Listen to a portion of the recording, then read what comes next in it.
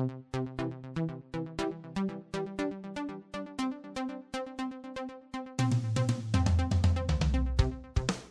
to the FNO InsureTech Podcast, a place where movers and shakers from all points within the insurance ecosystem gather and discuss all things InsureTech. We talk about how technology and innovation are affecting and driving change in the industry. Here are your hosts, Lee Boyd and Rob Beller. Hey, podcast world. Welcome to another remarkable, incredible, foundational, important episode of, if we say so ourselves, important episode of FNO InsureTech. Did I get it right? Did Did I say all that right, Lee? Yeah, yeah, you kind of went off script there, but yeah, that's right. Oh, really?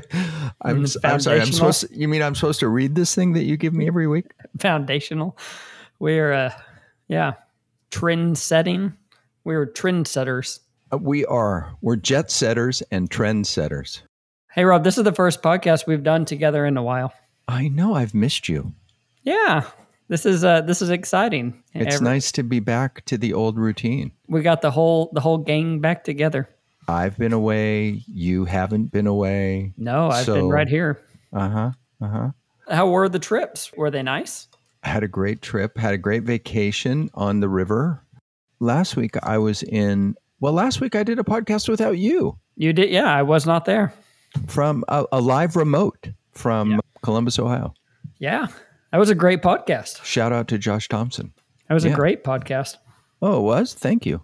Yeah. Yeah. Well, I we, so we too. published it last week, I think. Anyways, all that to say, uh, our hearts go out to the people of, of Louisiana and Mississippi too. This was the week that Hurricane Ida hit and packed quite a wallop to Louisiana, and we're we're busy working in Louisiana for Alacrity, spread out all over the state, and wish you all the best. So today we have a very interesting guest, yeah, a homegrown insurtech.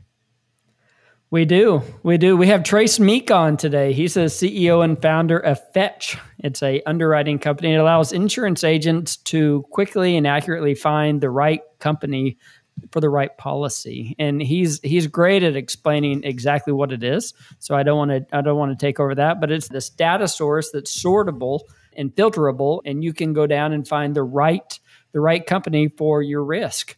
Uh, so it, it- it's a fascinating product, and it's been around for a few years, and I think it's a, a, a big game changer. And like like we'll talk on the podcast, it's a very straightforward idea, super practical, and to the people that use it, really important. And uh, so we wanted to have Trace on and hear all about it and how he founded it. So if you are a listener, you have any involvement in underwriting or independent agents, I think you'll enjoy this. So without further ado, why don't we get to our interview with Trace Meek, founder and CEO of Fetch. Hey, everybody. We are here with our very special guest coming to us from Florida. Is that correct? That is correct. Tampa Bay area, Tampa Bay. where I think you know most of our sports teams win Yeah, win You are- games. I guess. That you was- are quite good at sports. I'm, I'm really happy with that with that little intro that I just did there for you. Huh? Yeah. That was great. Uh, that was I great. think it's just Any- just just hockey. You would think you know a hockey team in Florida. yeah. Who would have ever thought? We're here with Trace Meek, the CEO and founder of Fetch. And no, it's not a pet insurance company like you might be thinking. Yeah, Uh, it is, uh, well, I'm not going to tell you what it is. I'm going to let Trace tell you what it is. Welcome to the show. Thanks, Lee and Rob, for having us on. Really appreciate you inviting me and, and being a part of this. So I'm excited to spread the word about Fetch, which is not a pet insurance product. Let's just take one little sidetrack here. An experienced podcaster. that's right. Here's here's your plug opportunity. Two Go times ahead. times two. Yeah, so two. I, I started a podcast a couple years ago with my son, my nine year old son, and it's called Can You Guess It? So just uh, Google it out there, look on iTunes, Pod, uh, all all those platforms are out there. But the two of us list 10 facts about something, you have to guess what it is. So it's kind of it's That's kind of a cool. spin off of the, the the annoying game of 20 questions in the car. Kind of reversed engineered it a little. if this podcast doesn't really intrigue you, you can just stop and go over to that. Go over right? and guess something. Yeah. Yeah. But at least wait till I'm done with my my That's part. right. It usually goes downhill once our guest is off. Okay. Let's get started down the Yeah. road with Fetch and tell us what the heck is Fetch? What do you do? And what your products are, So let me give you the back history of how it even was created. please. I'm an insurance agent, third generation. My grandfather started in 1954. Uh, when I came into the industry, well, come to the industry, came into my office, you know, we were, we were a pretty big agency. I was like, oh, I'm going to hit the ground running with all the great technology. Uh, this is about 2009. Uh, I walk in and we are still a paper office. We had over 10,000 paper files from floor to ceiling, wall to wall and uh, it, it it was a bit of a shock. I, I didn't even know what a management system really was in the world of insurance, and so I thought, you know what, I'm going to take all these files and I'm going to make it uh, digital. I'm going to scan them all, and I'm going to get it done within a year. Well, it took us three years to do it, and uh, but now we're a paperless office. But it, it is interesting to see, even in the year 2009, that uh, or even today in 2021, right, that agencies are still paper. So and uh, Sure. Sure. that, that was kind of my first experience with the frustration of the industry. So, about three years ago, I was training for a master swim meet. I'm a distance swimmer. cool. And uh, I get out of the pool and uh, dry off. We were getting ready to go to dinner, and I was walking along and I stepped on a pipe, just a little pipe sticking out of the ground, rolled my left foot, and broke my fifth metatarsal. Ouch. Ow. So I was actually with a friend of mine that's an orthopedic surgeon. He said, "Sit down, Trace. Let me look at it." And he starts pushing it. Yeah. Well, I know. I, I don't know if that was an omen or I, I don't know. I, I'm not really sure. But he starts sticking his thumb into where it's broken, and it's like crackling, right? And you're like, I'm like, you know, that hurts. And I go, Do you think I can swim tomorrow? He goes. No, you can't swim tomorrow. I go, well, can I swim next month in the meet? And he goes, Trace, you're not going to be able to walk on this probably for a couple months. Wow. So the next day, I'm laying on the couch, iced up the foot, got it resting, and I called to the wife. I said, uh, "Dear, can you bring me a beer?" Right? Sounds logical. What else am I going to do? She goes, "Dear, it's 9 a.m." I go, "What am I going to do with my time?" I go, I, I think I'm just going to start up drinking in the mornings, make it make it a little easier on myself. And she goes, "There's got to be something better now that you've kind of." Can take a deep breath, right? So sometimes there's a positive in what happens. Now that you've taken things, you have to take things a little slower now. You can't be running around. What what do you want to do? And I said, well, I'm in the office and every day I hear this banter back and forth. You know, who would write a 16 year old shingle roof? You know, who would write a home with a pit bull or a Zinsco panel or a water slide, a diving board, trampoline, right? All those things. And I said, there's got to be a better way to do this. Because it, it it's not just the one piece it's when you have to mix it with the other pieces that makes it complicated. And i used to stand there and watch my team flip through a three ring binder right of each page looking for the the the okay let's see it fits in the dwelling it fits in oh nope got to go to the next page. And and here in florida you can be appointed with 30 or 40 homeowner carriers so it really it, it, it, was really a frustration. And the more frustration is is the agent believed that they couldn't write the risk.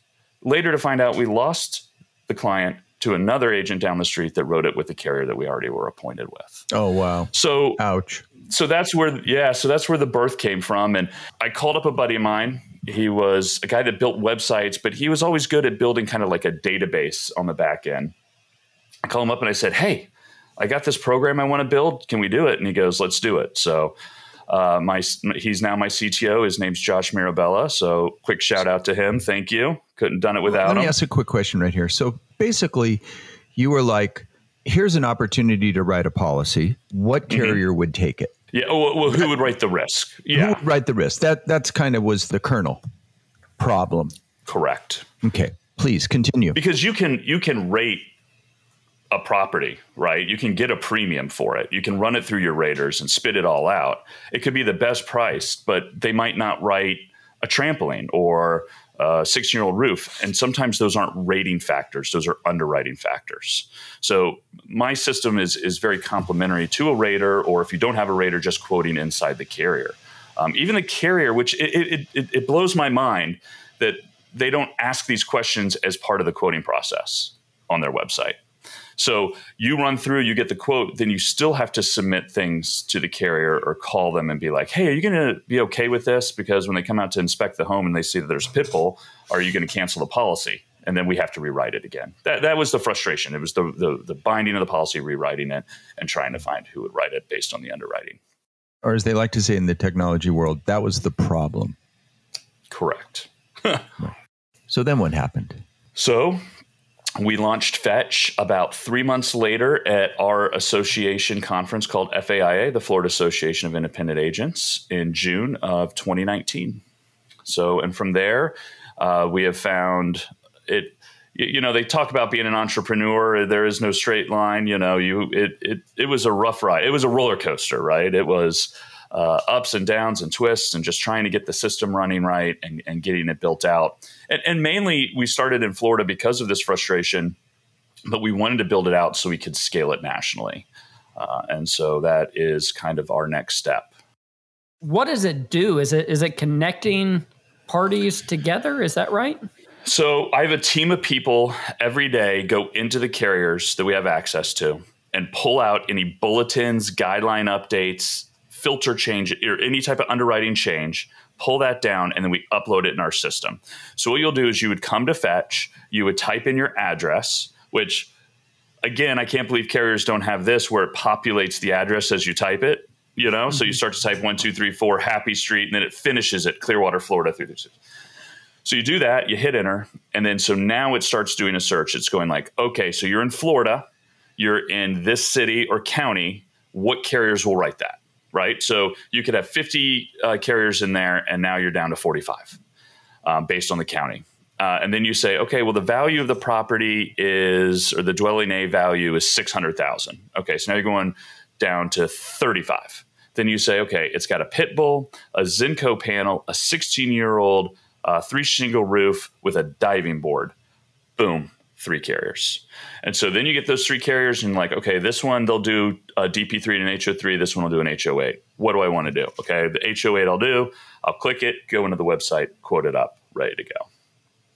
So is this a tool for independent agents to go in and figure out where they can actually sell the agent? You know, the, the where the they can place the business.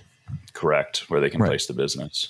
Because right. normally the, the process would be they'd put it in the rater, they'd get the 15 or 20 carriers then they look at the cheapest one or the, or the best priced obviously mm-hmm. right and then they go okay well they write it then they go open up their three ring binder or look at their excel spreadsheet and and the hard part for me with my agents were i'd look down at their three ring binder and i'd be like this this guideline was printed in 2016 i go i'm pretty sure they've updated it in the past five or six years and mm-hmm. later lo and behold they have and and changes have been made so mm-hmm. you know you, you kind of get locked into what you get kind of locked in that this is what the carrier does, even though they make changes all the time. Is it a common problem for the independent agent that they'll t- take the list of 15, they'll find the cheapest one, they'll go to ride it, and then the carrier comes back and says, I didn't know they had a pit bull? Correct. That's a or they didn't know problem. they had a diving board. Yeah, they didn't uh-huh. know they had a diving board. You know, they go out and inspect homes. Uh, they do post inspections at post buying inspections, and so they go out and they'll take a picture, and there's the diving board. The next thing you know, you're getting an email from the underwriter going, "You got to remove the diving board, send more pictures to show us it was removed, or we're going to cancel the policy." So right. it just added more frustration. Right. So this makes the agent save time and be way more successful because Correct. they're not having these carriers come back and saying no, no, no, no, no, no, no, no, or right. we have to re-rate the price or whatever it is. That's right. Nobody wants to really pick up the phone and call the underwriters for everything, right? Or eat. it just becomes another like step, right? So if you have mm-hmm. ten carriers, you're going to have to pick up the phone and call each carrier to find out if they'll write the diving board or you'll have to look through the guideline and it's just like it's so time consuming some of my users tell me they save five to ten hours a week by just using fetch. Wow. Right. Mm-hmm. So is there a filter setting? So if I'm an independent agent, I might only be contracted with a couple of different companies. Is I mean, does this show me everybody and am I able to write with everybody or do I have to only look for those I'm contracted with? The ones that you're contracted with. So we have an appointment page where you go in okay. and you choose the carriers you're appointed with. I see. So it only shows you those. Right. Correct. Is it strictly P&C or is Correct. it all lines? It's mainly homeowners. There's flood and umbrella and condo, and there also we're working on mobile home and a couple other things. And and we're thinking about going into that commercial world. Um, but man, that's a that's a whole nother beast for sure. Yeah. And it we feel that there is still a lot of need for the the homeowners market, especially on the coastal states. Right. That have significant cat risk. and the carriers are always changing it. I'll tell you right now, just you know, just to give you some uh, information, I'll tell you how many changes. I, I think it's like 212 changes we have made in just the past 30 days in Fetch. Wow. So, does somebody pay? do you- They it's a, I, sus- I assume it's a subscription, Correct. And so they just they have it sitting on their desktop and they can use it whenever they need it. It sits there and they pay a monthly fee, or do they pay by use, or or what's the fee arrangement? So it's web based, so you can log in anywhere. It's $97 a month for the first user and $10 for each additional user per month. 30 days, uh, cancel anytime. Pretty, pretty straightforward. We don't put long term contracts and all that sort of stuff. We want people to go in, we want them to use it and save them time. Now, an agent in Boise, Idaho, is going to Mm-hmm. be mostly concerned about selling policies in Boise, Boise, Idaho. Correct. So, can you help them? We can. So in the states that we don't have the guidelines in, we ask the agents, and so that's part of part of our crowdsourcing product is that agents send us information, carriers send us information, we compile it all. We, you know, that's all very unstructured, and we structure it into a system that makes it easy to search. So if you're in Boise, Idaho, and you've got you know five homeowner carriers you send me the guidelines we upload those filters for you and now it's easy to search easy to use And how do you go about getting agents to use your product in Boise, Idaho? The, the kind of the other side of it. So, so you find one that agent helps you gain a bunch of data and information, mm-hmm. and now you have it. How do you go and get the rest of the market? Uh, how do i get the rest of the carriers or how do i get to the other agents Agents. be on great podcasts like this right Oh, I, I'm telling you, your company's about to take off in the wildest of ways. So get ready. I love it Rocket I love ship. it. I'm ready. To, I'm ready mm-hmm. to ride that. Yeah. Mm-hmm. Eh, now, is it an Elon Musk rocket rocket ship or uh, Jeff Bezos? No, more like the one that your nine-year-old made that's in the backyard that he swears to you is going to fly. More yeah, like that, that he one. glues the, he glued the cone to it so it, the parachute mm-hmm. never came out and it became Yeah. a dagger into the ground. That one, yeah, okay. More like that one. So, what do carriers think of you? They've been hesitant in a way. Some at the beginning, they were they were concerned. They were like, "Well, this is proprietary information, you know, that we don't write pit bulls." And I was like, What? It, it, it's not really. No. And so they said, well, this, you know, we keep our guidelines protected. And I said, well, okay. I go, let me just Google it real quick. And I'd Google their name and the guidelines. And miraculously, there's the PDF on Google. I said, you know, it, it takes some convincing. I said, if anything, this is really going to help your agents not send a bunch of junk through you that you're just going to deny anyway. Mm-hmm. So they're they're strongly getting on board now. Where we're getting we have about five or six carriers we're talking with right now that are ready to closely pull the trigger and that they're going to help manage their data now. So we built this Oh, portal wow. for them so they can go and make the updates. Ah, wonderful. You love that, Yeah. right? That's the true part of this is that we want to bring all those carriers around central location to dump the data in and then agents to be able to access that same information across the board.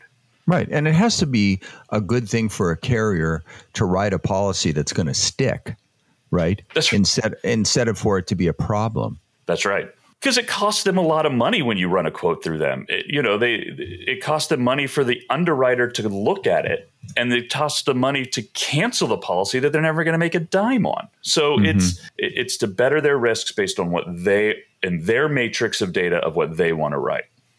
Is there any revenue on that side from the carrier? Do they pay me? Yeah. Of course, yeah. There- There's there's a whole price range of products that they can do, uh, along from you know if they want to advertise to if they just want to access their data. What are they paying you? I mean, are, is that also a subscription? And what are what are they buying from you? So what they're buying is the fact that they can help partner with Fetch. be a part of it, be a part of the system. They can even use it almost internally. Some of the carriers we're talking to right now are looking to build this inside for all their underwriters because I'll sit there and I'll call an underwriter and they'll give me a different answer than if I pick up the phone and call back again and get a different one. Right. So it helps streamline their internal underwriters as much as their agents who are almost like an external underwriter. Right. So we uh, kind of underwrite the risk for them, we pre underwrite it. Well, I'm just thinking there's probably many of these companies who write the policy. Uh, so maybe at the end of all of the questions, there's five or six companies. Well, maybe maybe there's a way to promote one of these companies to be like the number one sponsor. Like, hey, out of these five, you know, pick this one. I think it's a great revenue generating company. I think that it has a lot of a lot of big upside, and I think the future is there for you because right now you're only on the homeowners, but it, it could go so much further. What's even more interesting is, I mean, is there a way to actually write the you know to actually bind the policy through fetch? Is that is that there right now? So the cool part about fetch is we wanted to we wanted the user to put in the minimalist amount of information as fast as they can to get a really strong answer. And you can't do that like you can when you quote with them. When you quote with them you're putting 50 pieces of data in right, right. with us you're putting the address and then you know five or six filters where you just click a button right? So it takes 15 seconds to do. Now it's taken your 50 carriers down to three. So now you go in and, and, and do the process. So this is just kind of like a quick like fast overview. Here are the carriers that you're probably going to most likely write with. I mean it's obviously very straightforward but also a, a, a fabulous idea. Talk to us about the how it's how has it caught on? You said you're you're a little more than a year in market. We're about we're in our third year now, I guess, because we started in 2019. A lot of it's word of mouth. I'd have to say strongly. We have mm-hmm. uh, we've just partnered with our association, which is FAIA Member Services. So it's a, a division where you get. It took us about a year um, vetting process to get through there, um, and then they kind of put their seal of approval uh, mm-hmm. stamp right on the system. So uh, we're launching some stuff with them, and you know, going to these association uh, functions and things, and getting getting people involved and and signing up and trying it out. It we we have about thirteen hundred users right now. So wow. do you really? Not too shabby. Yeah, no, that's awesome. Congratulations. That's Thank that's you. amazing. Just you know, from the seat of your pants, that's uh, a pretty remarkable thing. What about bundling? I mean, that has to be an enormous opportunity for you, or is that not that I, I assume in Florida bundling isn't as common as maybe some of the other states, but how are you approaching that? Uh, yeah, with the bundling, there's not as much, I guess, underwriting when it comes to auto. When you look at it, uh, sometimes there's a couple questions out there, but there's there's not really as much as the bundling, but it's just more of the underwriting of the particular risk, and and we haven't come across that yet. Right now in Florida, we're looking to bundle uh, to show things about flood right? So when you're putting that yeah. information in, it's similar information that you need for the flood policies. Uh huh. And in other states, as you go, what kind of pressure or things are you discovering about agents and how they look at their business in other states versus how they look at their business in Florida, which is its own unique universe of insurance? Correct. Again, our product is probably a little stronger for those who have 10, 15, 20 plus carriers um, mm-hmm. where you mm-hmm. have to do a lot of that. I know in, in some states, you just need two or three carriers and you pretty much have the market, right? You have like mm-hmm. a Safeco and a Travelers because they'll do the home, auto, umbrella, both. They'll do, you know. Mm-hmm. So those states maybe not, but the the great part is with this product is they could put in those three, they could do the homeowner search, and it might kick one of them out, and they're not going to spend any time going through and quoting it. Mm-hmm. Are you working with the MGA market at all? So the hard part with the MGA market is they're not very good at sharing the underwriting data. Mm-hmm. And I don't want them to just say, "Oh, we'll write anything." And then I put it in, and then every time the agent goes to them, they say, "Well, we don't want to write it because it has Pitbull." Well, you got to tell us that we have to put that in the system. And so I, I didn't really want to junk the system up too much with MGAs. Mm-hmm. So I'm currently talking to a couple right now, more of a national MGA to say, "Hey, if we can get some of here here are our filters can you push can you say yes and no to these filters and if you mm-hmm. can then let's put it in and, and move forward because there are mm-hmm. some products out there that that you can search like uh, groups of mgas to see who will write the risk and I've called them before and they've said, "Oh no, we, we don't we don't even write that product." And I'm like, mm-hmm. "Well, okay." I don't. So, did you bootstrap Fetch yourself, or have you raised money? I mean, how, how, how's that side of it work? Yeah, so I put all the money in myself. I pay to work for Fetch. that's that's kind of the joke, but uh, no, our, our revenue numbers. I mean, we're up.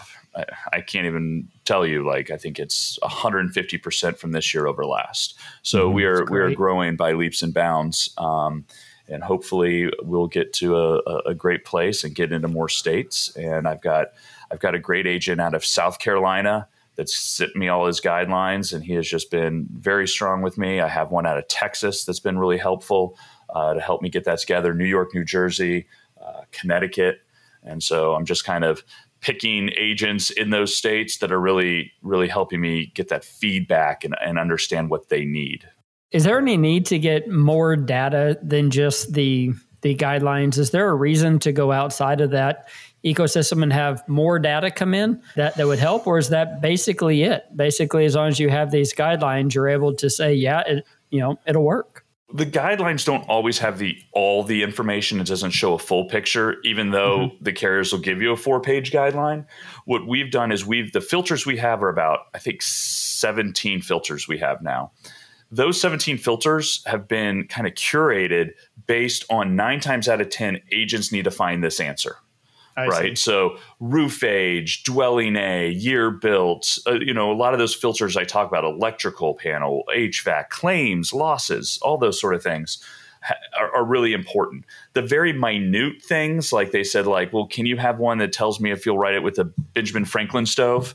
I'm like, you're the first person out of 100,000 searches we've done so far that's asked for that. So what I suggest you do is, is go through the filters we have, get it down to the two or three. Now yeah. you're only calling two underwriters instead of calling 25 underwriters. Right. That makes to find sense. that out. Right. It's still incredibly helpful. Those one-offs are always going to be there, especially in property. Right. Well, the cool part is in the system, you'll get it down to whatever you want. It'll show you the notes that we take directly out of the guidelines and put into the system for you to read very clearly, all in the same place. But we also attach the guideline and make it what's called um, OCR, optical character recognition. So you can open up that PDF, do Control F, and look for the word Franklin stove or stove, and it'll highlight the word throughout the document. Oh, that's great. So one of the cool things is is that we used to not have the guideline as a part of it, but this helps the one-off. And the cool part is every day we go to all these carrier websites and we pull any guidelines. If we see a new guideline and update it, part of our subscription is you will get it in an email the following day. So it'll look for any guidelines that we've uploaded. The next day you'll get it. So it's just kind of like, hey, just an alert just to let you know we've updated the guidelines and we want to give it to you. And so we built a guidelines library. So it's got hundreds of guidelines in it. So you can search it by the carrier, you can use it on your smartphone, and just be able to look up information at your fingertips. So I call it the three ring binder in my iPhone. I love it. So is your competitive moat that you're gaining all of this very particular data that really has to kind of come over time, right? I mean, you, you can't just say, I couldn't just say tomorrow, I'm going to contact these 20 insurers, get get this information and uh, be, and and compete with Fetch because Fetch has additional information and data beyond just you know what the what the carrier has sent you. Is that correct? You guys are garnering and gleaning further data all the time. Your data is more complete. Is that what your competitive moat is? Yes, we're structuring it all in one place. So carriers will be really funny. They'll build a guideline a year ago. And instead of updating the guideline and sending you that, they send you what's called a bulletin, right? So they either send it to you in an email or on their website, they'll flash it up there. Well, I mean, just like anybody in this industry, you get hundreds of emails a day right? So it gets lost. So you forget to read it and make the change on the guideline. We actually check those bulletins every day and emails every day. We put the bulletins, we actually have a space for all the bulletins from the carriers, but we also go make the change on the back end for the carrier itself. So when you go to do the search, if they change the year of the roof, we've already updated it. You don't even have to worry about it. You just type in the roof age, we'll tell you if they'll write it or not. Let's talk for a minute about the future of Fetch. Where do you go from here? The roadmap is to grow nationally. We want to be able to be in as many states as possible that could really utilize our system. I'm looking for agents out there that really want to help out and really want to be kind of a it's going to be a startup in their state, right? Want to want to start with us and, and really partner with us and help us get some connections with carriers in those states that we might not have connections with here in Florida. I'm starting to see that we have trends now. We were trying to pass a bill in Florida, and we actually had uh, legislators reach out to Fetch and say, Hey, nobody can pull this data. Can you pull it for us? And we could. Wow. We were able wow. to see the trends of the roof ages changing over the past 12 months. So they were able to use that as leverage. So we're able to, I think we'll be able to see trends and concepts moving throughout the states to better understand for the agents where they're going and where the carriers are. That's awesome. You know, we're getting here close to time, but before we leave, I have to ask you about something on your resume. What is a brewery consultant?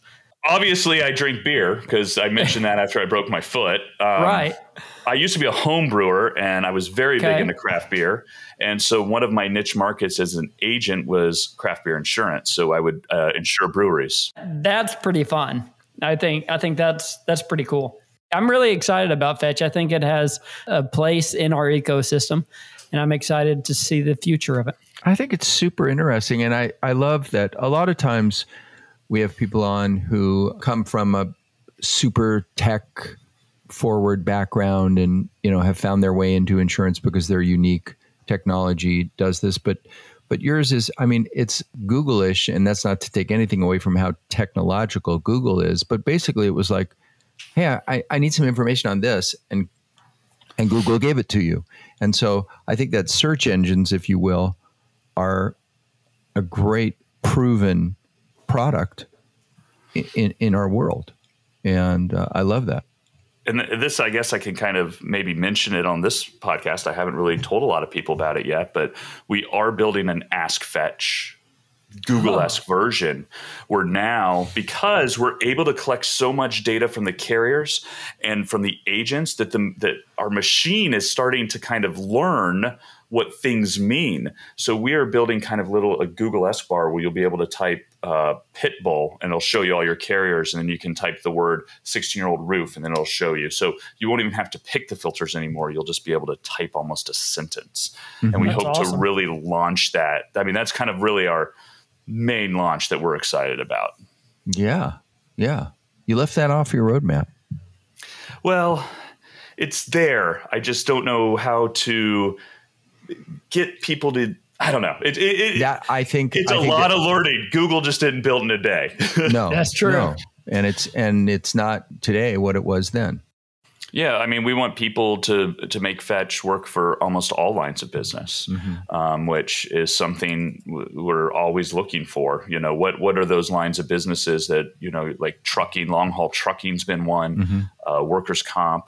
You know, mm-hmm. so we're we're we're going in a lot of different directions. So we're just trying to figure out what that road is um, and make sure. When right now we're very strong in the homeowners market, that personal lines, and I think we're going to kind of be there for a while um, okay. just to make sure we build that foundation correct.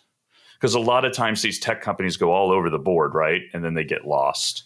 And right. so just trying not to fall off well, the boat there. Con- congratulations. We don't meet a lot Thank of boot, bootstrapped InsureTechs, but you're one of them. And that's very cool. We'd love to have you back sometime, but you got to bring your nine year old since he's an experienced podcast. He's 11 now. Okay. But uh, right. yeah. We yeah, take 11 year olds. The cool part is he asked me about this program the other day because uh-huh. he just hears about it and I explained it to him. He goes, "Oh, that's that's pretty cool." He goes, "Can I try it?" And I go, "Sure." And he did, and he goes, "Well, this is easy. What's so hard about underwriting risk?" I go, "This was made it easy. Like you should have seen the way it was before." Hmm. so, but I, I just want to tell everyone out there they can sign up for free for Fetch, do a seven day trial. Go to fetchuw.com. Um, and they can just put in their name and email. I don't ask for credit card, none of that. Just go in there, try it out, just enjoy it. And then uh, if they want to move forward, it's $97 a month for the first user. Great. Well, thank you very much. We've learned a lot and uh, look forward to having you back again another time. I would love it. Thanks, Lee. Thanks, Rob. Again, Lee, I just really like products that are super practical. Yeah, that one is. Very practical. Maybe not yeah. maybe not overwhelming from a technology, oh my, wow, isn't that cool? But from a practical, usable, well, yeah. I mean, what is the saying? Keep it simple, stupid. I mean, they know what they're doing. They're keeping it simple. It's not all this crazy technology that's bringing everything into a database. I mean, it's simple and it's yeah. and it's needed and it's out there. And I could yeah. see how independent agents need to know those things because if you have 20, 20 companies you, you could write through, well, that's a lot of applications. So right, it would have never been important to your father, right, who was right. a state it, farm agent, but to a large independent agency, yeah. Uh, wow. Very much so. Yeah, so uh, really appreciate him coming on today. Yeah, we thank Trace for being with us, fellow podcaster and beer drinker. And we thank you for being with us as always. And until next time, we'll say to you goodbye, everybody.